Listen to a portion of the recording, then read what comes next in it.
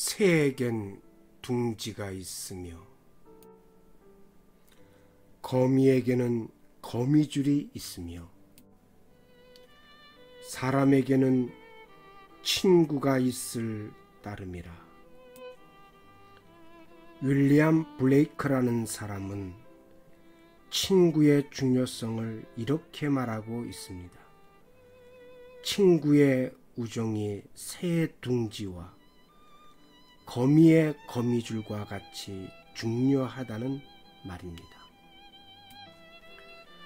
그런데 2000년 전 십자가에서 돌아가시고 부활하셔서 우리에게 영생의 길을 열어주신 예수 그리스도께서는 어제나 오늘이나 앞으로도 동일하게 우리의 친구로서 늘 함께해 주십니다.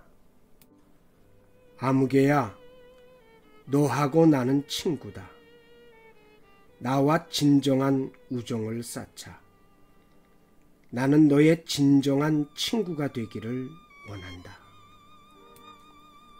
결코 너를 실망시키지 않을 터이니 나와 친하게 지내자고 우리에게 말씀하고 계십니다. 이 세상에서 예수 그리스도와 같은 친구는 없습니다. 예수님은 우리의 죄를 대신 짊어지신 분이십니다. 인생의 동반자요.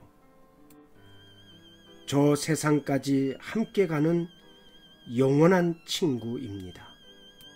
외로운 인생길에 참 위로와 참 평안을 주시며 우리의 고민과 문제를 아시고 해결할 힘을 주시는 능력의 주님이십니다.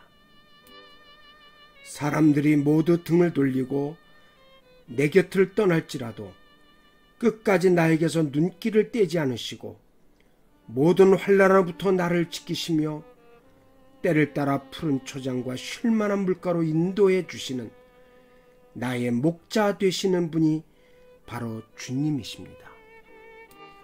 이분이 나를 친구 삼아 주신다는 것, 이보다 더 감격스럽고 든든한 백그라운드는 없습니다. 그러므로 그리스도와 더 돈독한 우정과 연합을 이루어야 하지 않겠습니까? 시청해 주셔서 감사합니다.